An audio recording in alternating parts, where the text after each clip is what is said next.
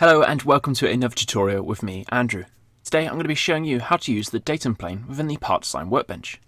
You'll also notice that my FreeCAD has changed slightly, and that's because I'm using RealThunder's modpack, which is a few variations compared to normal.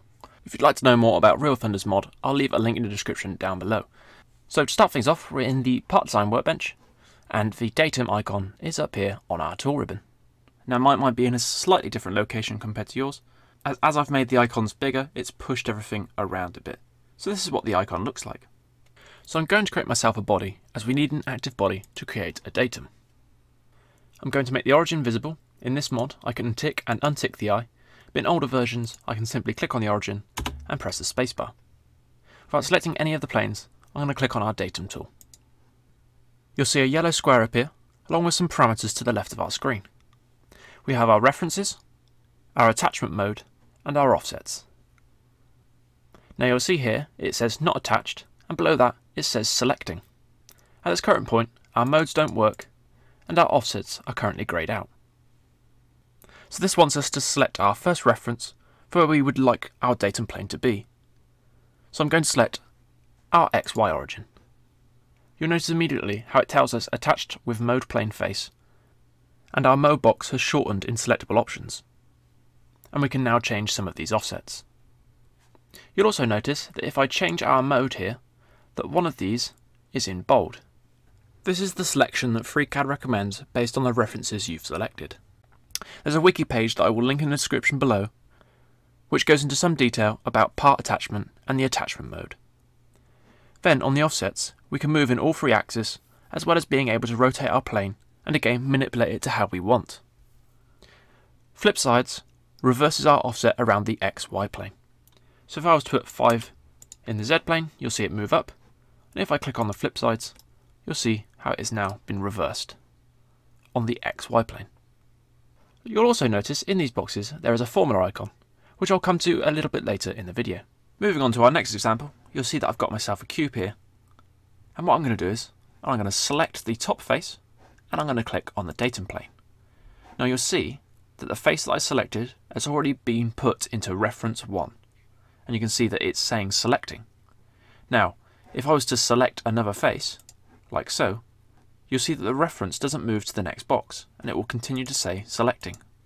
So I can select lines, I can select vertices, and I can select faces. It's only when I click on reference 2 that it will actually change, and that will say selecting.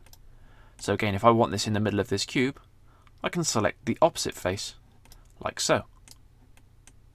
I can also start the datum tool without clicking any of these faces, lines or vertices on the cube. I can just click on the datum plane, it will then ask me to select a reference. So if I select this top face, it will then move onto the second, so the selecting, and I can then click on the bottom face, like so, and it will move again onto selecting. That's a slight difference to when you're just selecting a simple face. But obviously if you're only selecting one face and then pressing OK, then that's absolutely fine. I can also select all the references before I click on the datum plane. So again, the same example, if I want a datum plane between these two faces, I've now selected those faces.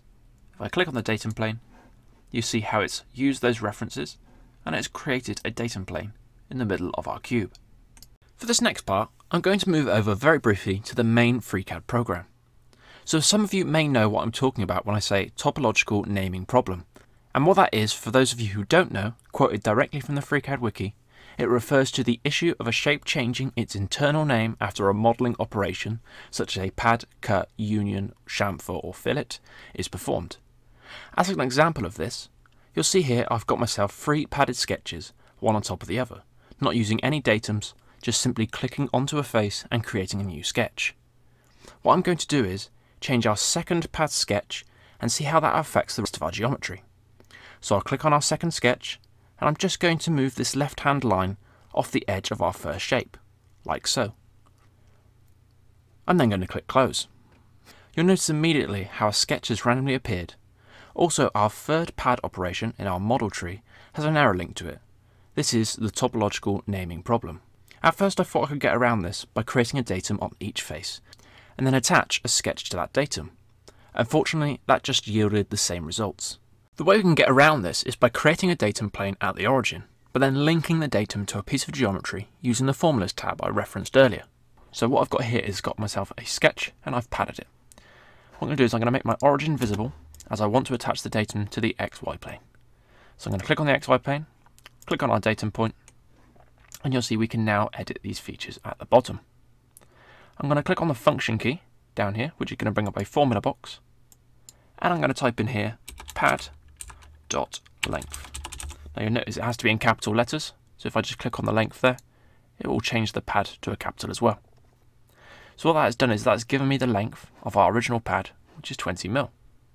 So I'm going to say OK, and I'm going to say OK to that. Now whenever I change uh, the length of this pad or the height of this pad, the datum will move with it. So what I'm going to do now is I'm going to click on this, this plane, and I'm going to create another sketch. Again, I'm just going to create a very simple box, close out of that, and I'm going to pad that by 15 mil, like so. And I'm going to create another datum on the XY plane, like so. And I'm going to click on the formula box again. This time, I'm going to say pad.length plus pad 001 dot length, like so. And what that is doing, that is creating a, an overall length of both of our pads. So I'm going to say OK to that. And as you can see, it is now attached to the top of our second pad. I'm going to say OK. And I'm going to hide our origin point because I no longer need that. I'll then create a third sketch on top of that datum point. And again, it's just going to be a rough box, like so. And I'm going to pad that by 10 mil. Now if I go back to our second sketch, which is this one here, and I now manipulate that like I did in the previous example, like so, close out of that, and you'll see how everything has stayed exactly the same. And that is how we solve the naming problem. I can edit all of these geometries. If I just hide those datum points, it's a little bit easier to see. So let's say I want the second pad, and I want to add in uh, some simple lines, so like this, and I'm just going to cut out that line there and close that. You'll see how again everything stays the same. If I change our bottom sketch, like so, you see again how nothing has changed. We have created ourselves a solid piece of geometry, uh, which is easy to manipulate and change previous pieces of geometry. But you're probably thinking, that's a little long-winded and kind of annoying. Why can't I just draw on a face like any other CAD software? Well, with RealThunder's Mod, you can. It solves the naming problem and makes creating geometry quicker and with less hassle. So moving back into RealThunder's Mod, the naming problem is no longer an issue. You can see here that I'm creating sketches on faces, extruding them, and then manipulating past features to see if it causes any issues, all without using a datum plane. Our geometry is solid, which makes creating really easy, speeding up our process at the same time. I've read a few posts that are saying this mod could be added into FreeCAD, so hopefully that is the case. Obviously some parameters still exist, such as making sure any geometry you create is attached to the main body, otherwise this will still throw up an error. So now that I've briefly covered the naming problem and how we can get around that, what are the other things we can use the datum plane for? Well, one option would be instead of creating a sketch and offsetting it on our model, we can do this with a datum plane. I'll create a datum on our YZ plane and use the formula icon to offset it from our part, which will then make it stable for any future changes. So I'm going to go down here, click on our formula, and I'm going to say pad dot length minus 10 millimeters, which is my unit of measure. When using the formula feature within FreeCAD, make sure to put the unit of measure at the end. Within this mod, it doesn't matter, but other versions you'll get an error message that looks a lot like this. I think it's just a good habit to get into and can just limit problems within the future. So I'm going to say OK to that, and as you can see, it is now 10mm off the end of our cylinder.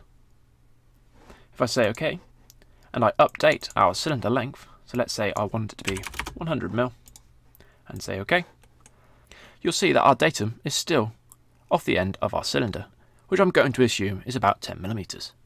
In my opinion, I find this method a lot cleaner, and it makes me feel better that hopefully I'm creating a more stable part that can withstand multiple back and forth changes. So what if I want to create a datum between a few different points? Well, in this case, I'll click on my datum point, And let's say I want to create it between a couple of vertices. So I'm going to click on those two there, and then I'm going to add a third one here. And you'll see that it has created a datum point, or datum plane, between those three points. So I'm going to say OK to that. Then I'm going to click on that datum plane, click on the sketch icon, and I'm just going to create myself a piece of simple geometry. And extrude that up, and say OK. So as you can see, that is created from our datum plane. But if I was to change that datum, so let's say in the Z, I want to go down, and say OK, you'll see how it updates, like so. You can see that obviously the datum is in a place that would unlikely be able to be created unless it was between these three vertices. So what if I then update this cube? So let's say I change the actual width of this cube. So I'm going to put that to 20 mil and say OK. And you'll see how the datum conforms still to the three vertices that I picked. And you can see how the cylinder still conforms to that. So what about if I change the length? So I'm going to change that to 50 mil. Again, you'll see that the datum plane is still connected to the three vertices, and the cylinder is still within the cube. So for another example, I want to cut this piece of geometry in half. So I've got this datum plane, which is whereabouts I want it, doesn't really matter for this, and I want to cut it in half. So I'm going to select my box, select my datum plane, and I'm going to click on this icon within RealThunder's mod, and that will slice it in half. And you'll see in the parameters box that we've got both of our pieces left. That will be all for today's tutorial, and I'd just like to take this opportunity to say a massive thank you to all of you who have subscribed, liked, commented and given feedback on how I can improve these videos and make it easier to learn. As I've said in the past, I've got some exciting projects that I really want to share, both FreeCAD related, workshop related and a mixture of the two. But as with all things, nothing ever goes the way you plan, but I guess that's part of life's rich tapestry. Thank you so much for watching, I really appreciate it. If you like the video, give it a thumbs up, and if you dislike the video, give it a thumbs down. And as always, have an epic weekend, and I'll see you in the next video.